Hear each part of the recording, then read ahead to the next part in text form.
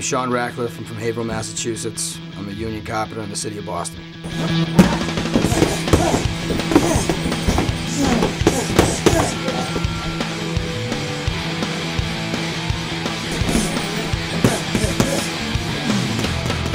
Primarily, I'm a wrestler. Um, I've wrestled most of my life. Uh, I just started jiu-jitsu two years ago, which is what also led me into MMA at the same time.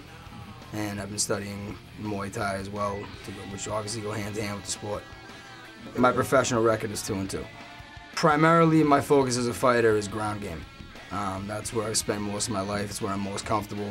I will exchange punches with somebody when it's necessary. I mean, obviously I have to use that as an option to get to where I need to be to finish a fight. I'm fighting Joe Kavey. I really don't know anything about him. Um, I haven't really done any studying on him, but I'm just gonna go out, I'm gonna fight my fight and uh, pretty much impose my will on.